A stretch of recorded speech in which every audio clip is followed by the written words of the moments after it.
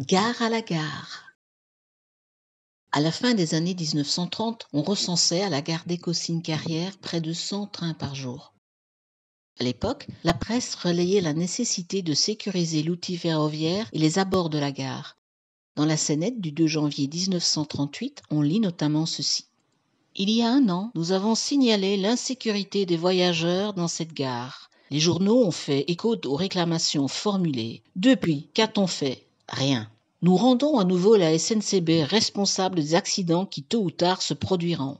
Pas un abri pour les voyageurs. Attend-on que le malheureux accident arrivé à notre estimé concitoyen Justin Couzeau se réitère en gare d'Écosine-Carrière Pas un abri pour les ouvriers prendre leur repos.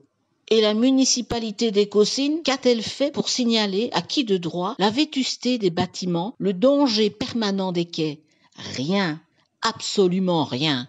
Un bon mouvement, messieurs. Pourquoi n'inviteriez-vous pas notre ministre des Transports à venir constater des visus la largeur des quais, tout spécialement celui se trouvant entre les voies 1 et 2 le passage des trains sur le seuil de la porte de la salle d'attente, le danger de traverser les voies, le manque d'abri pour ouvriers et voyageurs de la gare, un bon mouvement, messieurs de la municipalité. Nous avons les élections pour le renouvellement de vos mandats en 1938.